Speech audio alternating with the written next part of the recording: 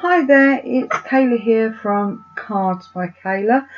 Today I'm going to share with you how I make my loaded envelopes for loaded envelope shares and this is how I make the actual envelope. This particular envelope is what I use as a test envelope which means I make an envelope up and I just do it out of plain card and then as I make stuff I pop it in there to see how it all fits together and if I've made enough or not enough and if everything will work in that particular envelope. So today I'm going to be making a test envelope. This is how I make them. There are some fantastic um, tutorials out there as well. One of which I follow and I'm totally in love with her work, and that's Anna from Loaded Envelopes Galore, who on YouTube is Lace Boutique One, and the other person I follow is Tamika from Scrap the World, and she does some amazing tutorials. She also does a lot of swaps in America and internationally, which is amazing. For people here in the UK, swaps are a little bit harder to find, so we are working on sorting out something for those in the UK so watch this space. All my sizes are here and I will also put them in the description box below. I work in inches so the sizes I'm going to be giving you right during this video are going to be in inches but I will convert them into centimetres for those that work in centimetres and all that will be in the description below other than that, let's get started. So, to begin with, you're going to need your paper trimmer. This is the one I use. I find this quite handy as it has the extended arm. It means I can throw it in a bag and take it wherever I'm going with and I want to craft. So that's quite handy and it's nice and easy to saw. It did come with a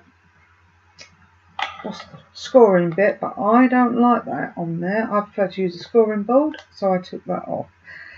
The first piece for our loaded envelope is the back piece. Now, it's the bit that forms the rear of the envelope. Now, that piece is 6 inches by 9 inches.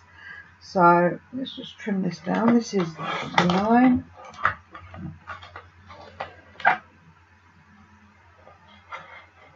and 6. All your scraps, I will link you up. I use a lot of my scraps for making bows and other items which are very easy to make. Um, I'll pop the link below for you. So keep hold of your scraps. The long front piece, which is going to form the body of the envelope, is 9 inches by 10 and a half. So let's just go along to there that bit.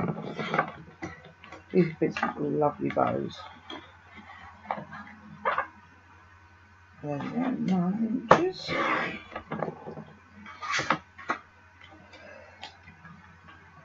For this design, I'm actually having two front pockets and a rear pocket. So, the first pocket is seven and a half by five and three quarters. So, let's go five and three quarters. As I say, all these sizes will be in the description box and they will be converted into centimetres as well.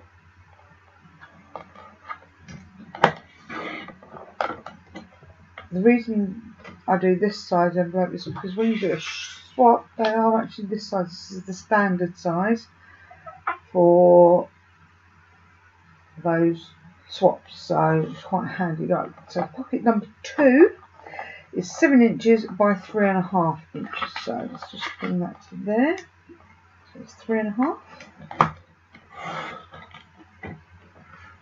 And that is seven inches.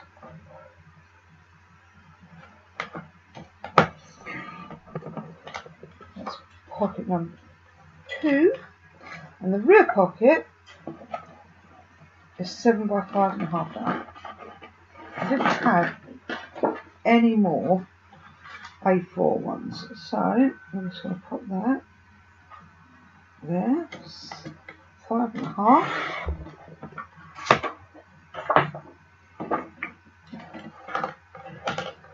And that piece there is seven.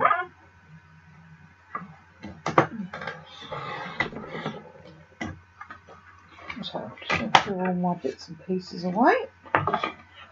Move those over there. Move the scrap board. Sorry, that's it, knocking me flying. Just tidy yourself up. Next thing you're going to need is your scoreboard. I love my scoreboard. So I'm hitting everything now. I'm doing this in my living room just haven't got quite enough space. And once I get my trifling finished, it'll be amazing. So, taking your body piece, we need to score this on the long side. So along the ten and a half inch side, we need to score this at half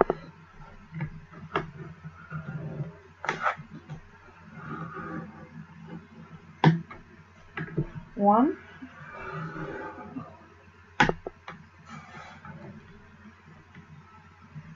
One and a half.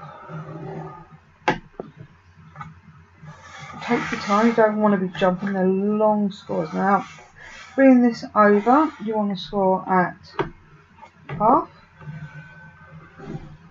turn to paper 90 degrees not jump there. So let's just bring that in. Half. One. And one and a half. And bring it over. You want to score eight and a half. Eight. let's try it again shall we? Oh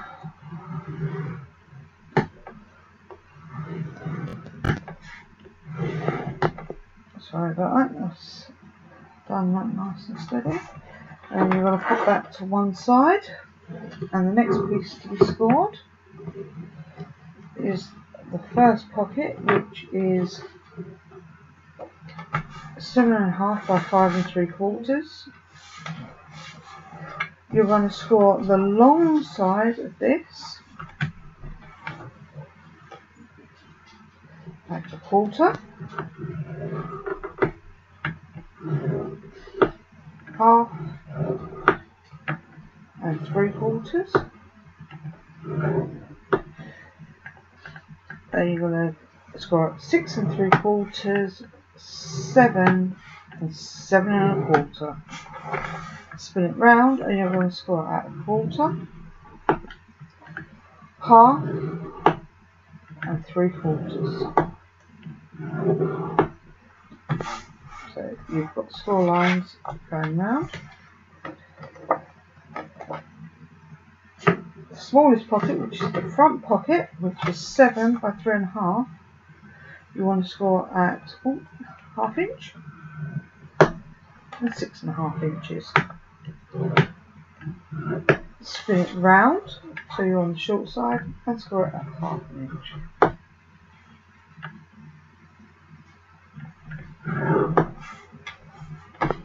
Pop that to the side.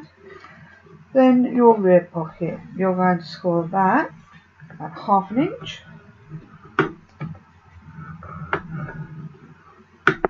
Six and a half inches. And you're going to spin it round to the short side and score it at half an inch. Now my tool is dragging a little bit. And what I tend to do is I have a little candle that I use, which is nowhere to be seen right now. Um, and I just rub the tip of my bowl in the candle just so it gets a bit of oil on it and it makes life easier for scoring. Now, let's just put this away and then I'll be back. I nearly forgot this needs to be, have a little bit of a trim. So you need to make a split in your paper at four and a half inches mark. Now, it doesn't need to be a huge split, but it helps for opening up. I am going to take mine down to, it says 8 centimetres on my board because it doesn't work in inches down here, but I'm going to bring it down to the, well no, not going to go 8, I'm lying. I'm going to go to 7 centimetre mark. So I'm just going to bring my blade all the way down till it lines up at the 7 centimetre point and that will be it. So I've now got a little opening bit. So I'm going to put that there and then I'll be back. Two seconds. Oh. So that's better. With this you now need to do a bit of trimming. For this you're going to need your long scissors because you need to take out this entire bottom corner where the score lines are just so that when you fold it it allows the envelope to squash out and open up. So just need to give that a bit of a trim like that. Pop those bits to one side. Now you're going to fold and burnish your lines or score lines when you do these especially the way I do this so you fold the first fold is that it folds back and away from your card. So how I do it, I do each fold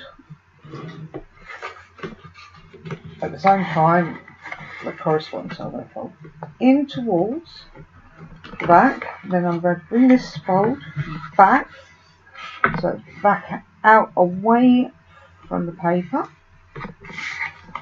And by doing it this way, I know each fold is correct and I can see if I'm going to have any issues with my envelope expanding. Sometimes you just need to trim a little bit more. Bring that bit there, that's that. And then you're going to bring it in so that it then folds to face the inside again, ready to be attached to the backing piece of your envelope. So to hold it there in and fold it in there. Now burnish these score lines because they are going to be quite important. Just a nice little focus. Don't overpress your papers. Nice firm but not overpress because you don't want break your paper and sometimes that does occur. So we're going to put that just there for a second and move on to our next piece. So the next piece we need is this piece. It's our first pocket. That's the one with the three score lines at the sides and at the bottom. Again, we're going to trim out those corners at the bottom where we've scored so that our envelope can actually fold together. So as you can see, I don't know if you've got very few there. We've got the score lines and we've trimmed away that corner so that they can fold together and move easily. Once again, we're going to fold our score lines. And I'm going to work round my envelope so they all face the same way. And as we go across, fold it round. Bring it across there. Bring it back.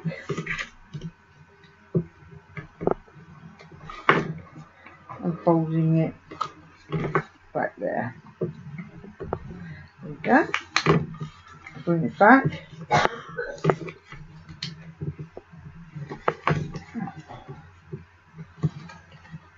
And folding it back in towards itself. Oh look, a bit off there.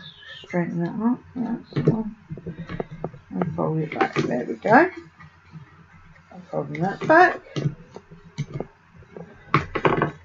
And folding that into base.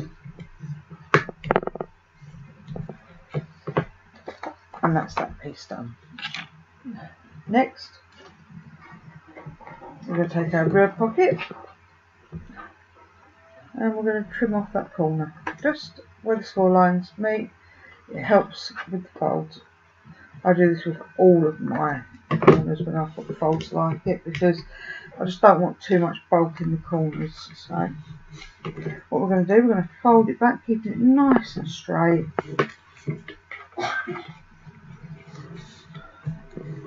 Same with the bottom. And again with the top bit. So go. And that bit's there. This is our front pocket. I'm going to trim it just as we've done before and then we fold this back on this. Now if you're just making your own envelope you want to make sure that all your right side patterns were on this side and that your inner patterns on the back so that when you bring it together and you put your envelope together you've got all the patterns on the right side.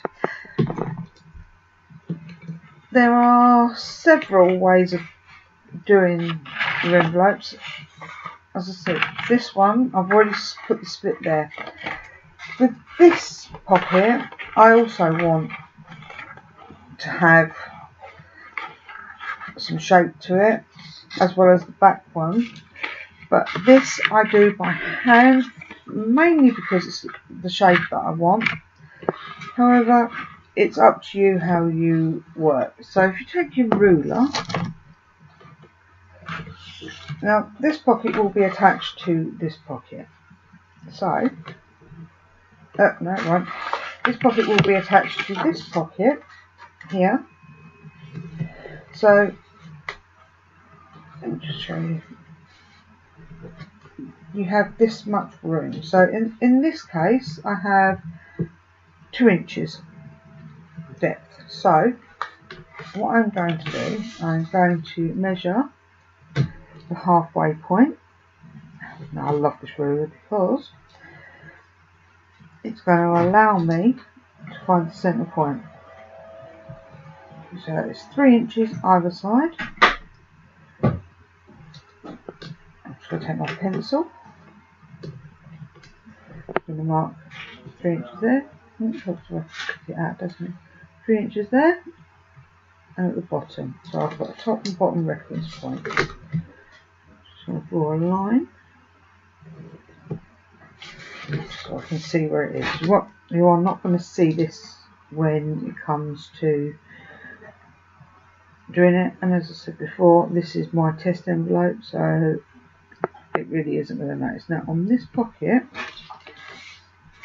I want to move an inch either side of that line and I want to come down one and a half inches. So I'm just going to mark across that line at the one and a half inches point.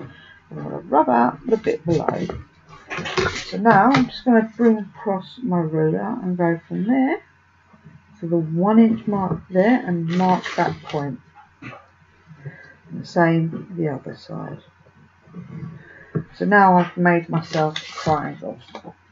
And using my scissors, I'm going to cut that triangle away because I don't actually want it to be there.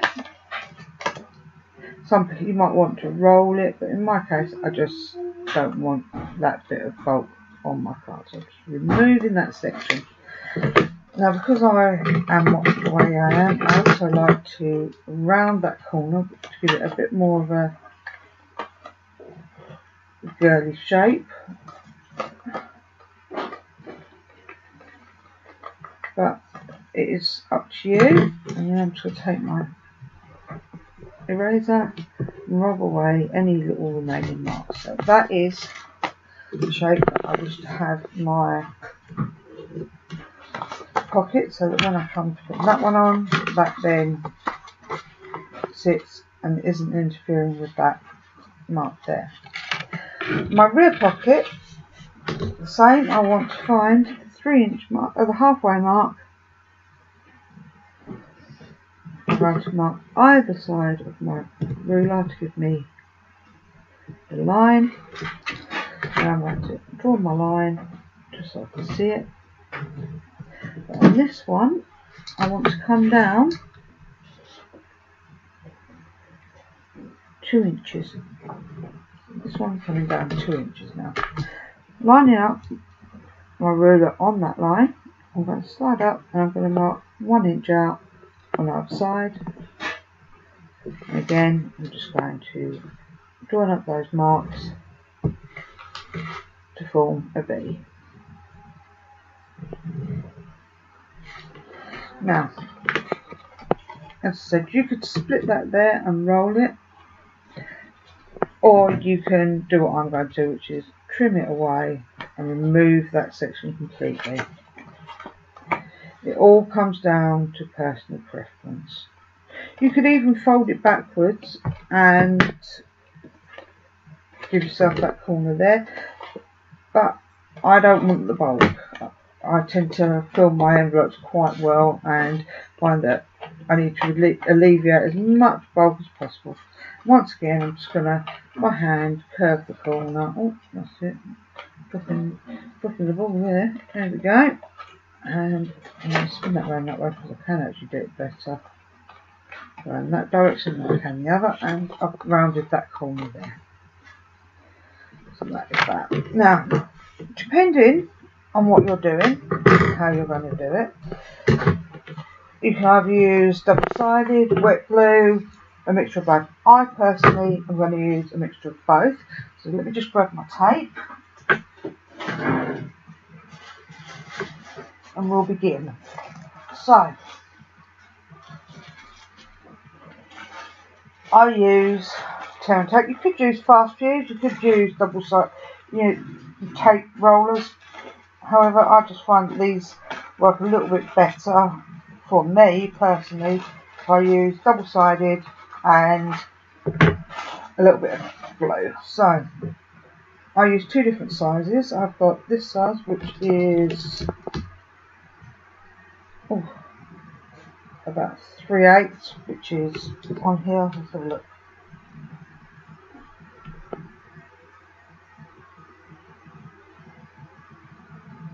Eight mil, and this one here, which is quarter of an inch, which is so let's run that up. Six mil. Looks, is that six mil? Yeah, six mil. So they're the sizes I like to use when I'm doing it, and obviously my Tombow, which I am going to say now will probably go absolutely everywhere. So I'm going to take out back piece now. And so you'll probably do this with your pattern paper. So make sure that your pattern paper is facing onto your desk. Then we're going to take this piece, which is your front piece. You're going to add your chosen glue or tape.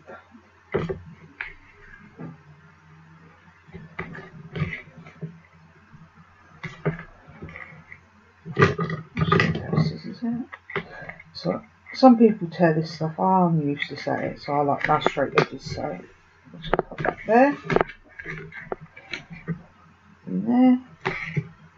Then we're only putting it on that flat that's facing in. And I'll show you in just a second the piece that I made.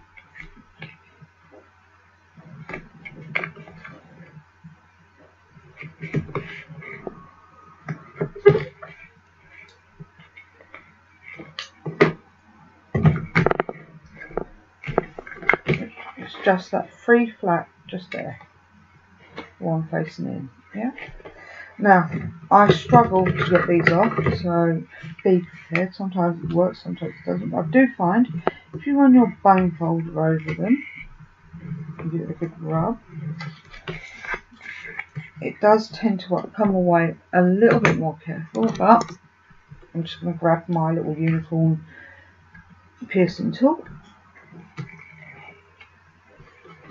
and take that way. Now, yeah, I'm going, to do, I'm going to do one side at a time. I was going to do it all at once, but it's not easy. So, the first one I'm going to do, not that one actually, it's the bottom one.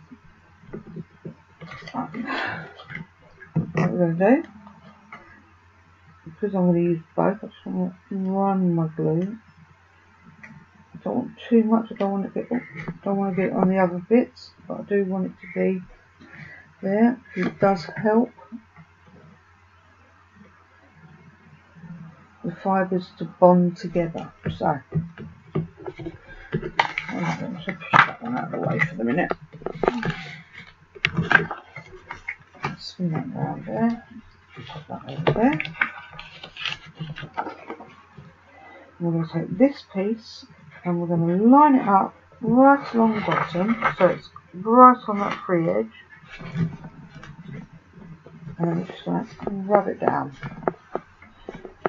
Keeping those all those lines in check while you're doing it so everything's in line. That's the one. Keep it all in line. Everything's square. And there we go. I'll move that back moving these bits in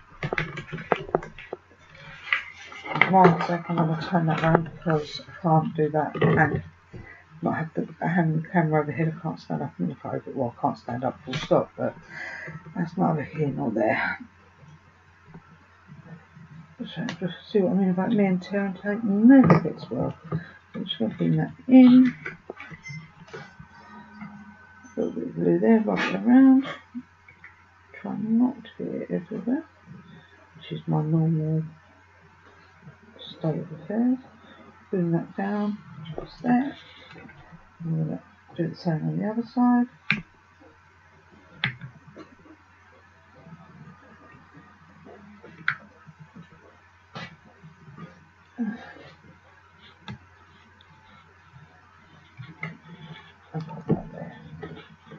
Now, keeping things nice and square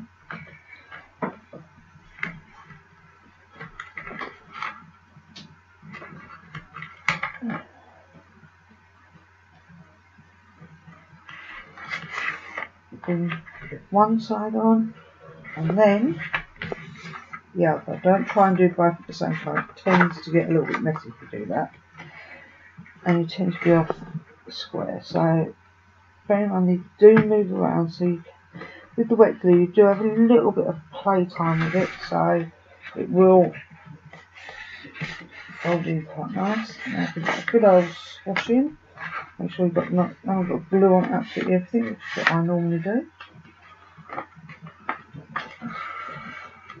Bring all your sides together. And now you've got your main pocket. So it's like those like little M shapes if you look at it, or W's, one or the other. So you've made your pocket. And this is front. Now, the next one we're going to do is this one which is the back. So I'm going to spin that over. Now I put I always put this on first because it's flat. Once you get all the other bits on, it can be a little bit more tricky to line it up. So by doing it this way, I alleviate some of the stress of trying to fix up onto an envelope that's quite bulky. So it's popping on our double-sided tape to the flap.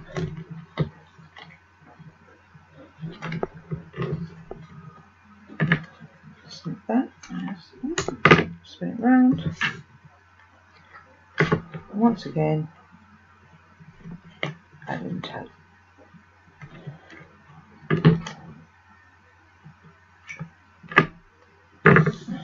Using your bone folder, give them a little squish.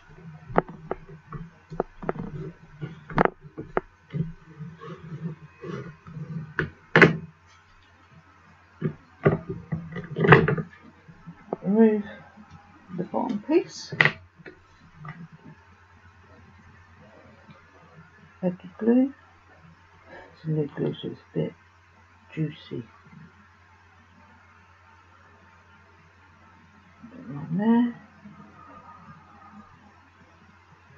Try and keep steady. Now, make sure you've got the back of the envelope. Line up your corners. and add your envelope. Now, hopefully not getting my head in the way of everything. I'm trying to be as quick as possible. Open this out, and you see like blue absolutely everywhere. Take that off to an issue. I don't have anyone else, but I go through baby wipes more now than I did when my children were little. I use more baby wipes for this than anything else. So I think they're the crafter's secret weapon. So we remove the cover of our tape. pop a bit of wet glue in there to help with the bonding of the fibres.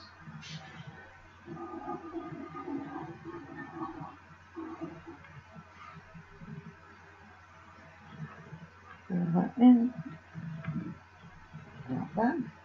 There we go. Now another lady that's helped me out immensely with my crafting, her name's Laurie from Paper J Crafts. She does a lot of stuff. She works with Stampin' Up. She's an amazing crafter. I love her work. And obviously there's Caroline Hewitt from Crafty Caroline Creates. All these ladies have really influenced my uh, crafting over the last years. I've only been crafting for, doing paper crafts for a year. So this has been a nice journey for me. So I'm just sharing what I've learned with you guys. So I hope you uh, are kind because I am quite new. I'm also very nervous about doing YouTube videos, but I feel that it's something that is worthwhile. So on these ones we're going to use our quarter inch tape, um, which is a little bit more fiddly. So it's only a quarter of an inch gap on this. So I'm just going to pop that on. This is your front pocket, first pocket. And as I said, all the score lines, all the dimensions will be on, will be in the description for you to uh, take down at your own time. So you don't need to be rushing and pausing and that's one thing I found quite difficult is having to keep pausing videos when I want to watch them to find out what sizes they were and write things down which I think sometimes detracts from what's actually being done. So that's why I'm going to write everything in the bottom for you. And I'm not going to send you off flying for looking for a blog anywhere or not selling you anything either. So it's just the love of crafts for me. And the fact that when I was looking for certain things, I couldn't find them. And when I did find stuff, I fell in love with the work certain ladies were doing, and it's got me to where I am today. So I'm hoping that I may inspire maybe just one person to go off and do something. And I'd love to see what you're making, so you know you can drop me a line, share with me what you've been doing. I'm more than happy to share with other crafters, and hopefully there are some big things coming along soon. We've just got to get things organised, which I can't wait to share with you, but I am in the process of getting it all done. So this is now just gluing up and I'm going to glue this one straight on all three sides at the same time because it's such a tiny little fold I found that this was my best option. But I also tried to make it so you didn't use too many sheets of paper because I know that it is quite difficult when you're uh, making stuff to not go over budget and paper can be quite expensive these days I've found so here's where you go here we don't have in the UK we don't have that many places that we can actually physically go to where I am I actually live in Kent which is quite close to London. But I do find that there's not so many places for me to physically go and buy stuff. We've got Hobbycraft, but I do tend to buy of my stuff online because that's where we find stuff. I turn up place, I like to go to the range. Quite like that place, but it's a little bit of a trip for me. Now, last but not least is this pocket. So back to our 8mm tape and pop that on there.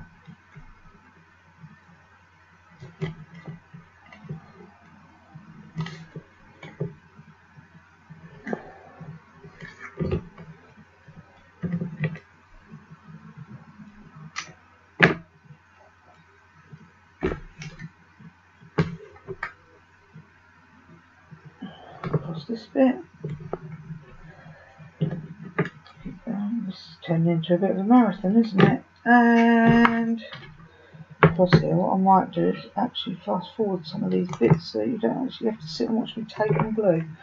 But I don't know. What do you want? It's up to you. I'll leave it long and then you can tell me.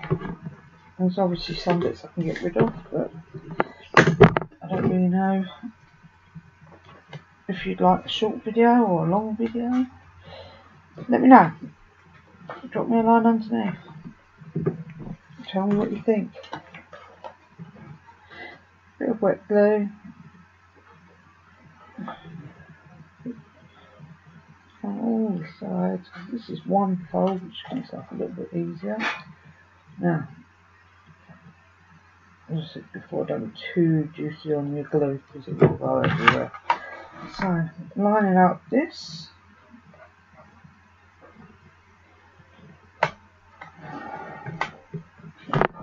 Like that. Now,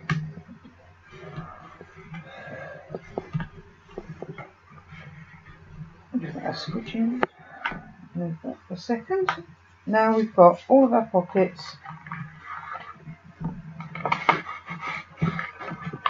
on our envelopes ready to go. So that's that bit. Now let me just clear some of this mess up so we can actually move. The next bit is going to come down to what you are wanting to do with your envelope. There are several rules or several ways you can deal with this. The first way, if you take a brush, you can roll your corner and give you a rolled edge. But in this instance, what I want to do I just want to fold like that to give me a nice wide opening. I'm just going to fold it back.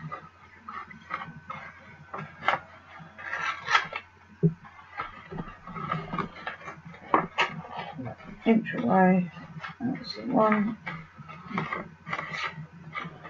that's it. Folded it back.